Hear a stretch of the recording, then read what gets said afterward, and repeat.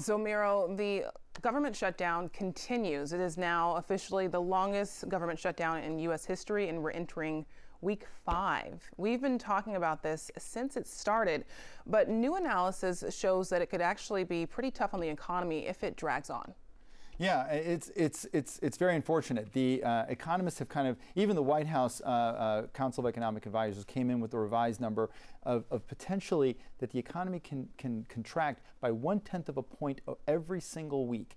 Just the salaries alone of these government employees every week are represent over a billion dollars. So through these four weeks, four billion dollars of salaries have not been paid there's a big multiplier effect. All these people are not going out to dinner. They're not doing, they're just focusing on the basics. But one tenth of a point is very important because last year we had a fairly robust year, but they're projecting that the first quarter GDP for 2019 will be about 2.8% growth.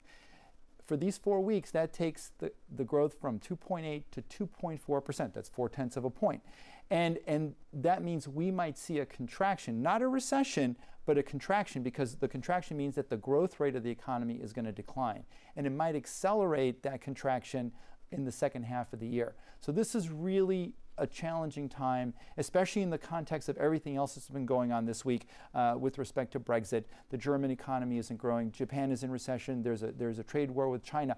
All these things create a lot of volatility, and this just adds icing on the cake. So, some changes this week with Netflix. The company has actually raised its prices for all of its plans for about one to two dollars across the board. This as more competition enters the market. Why these changes? Well, Netflix, you know, is is really competing not just in distribution of content, but in development of content. Last year, they spent $8 billion on original content, comedy specials, uh, um, one hour shows like like House of Cards or, or uh, Orange is the New Black, and and recently the movie Bird Box with over 45 million people seeing this. That's a lot of money. When they started, they were just distributing movies. So now they're competing against HBO, and they've won a lot of awards, and this has brought a lot of consumers to uh, Netflix. Over one out of every two households in the United States has Netflix, and research shows that Netflix, um, you know, people are willing to pay a lot more for Netflix than a lot of other streaming services. So there, there was a research firm called Magid and Associates, and they did a survey and they said people will spend about 38 bucks a month on streaming services, about and up to six of them. So they were willing to pay about six bucks, but they're willing to make a trade-off and keep Netflix and drop something else like maybe like Hulu or Amazon or something like that. But there may be a ceiling, and that's really the question for Netflix. This for the company this one and two dollars is going to bring in an extra billion and a half dollars in revenues that will help offset these content costs. Wow, moving a little closer to home, uh, Westfield UTC, starting at the end of this month, is going to, going to start to charge people to, to park. And this is actually coming at a time when a lot of malls are having a difficult time just getting people in the doors. So, why would UTC risk making it more inconvenient for shoppers to come to their mall?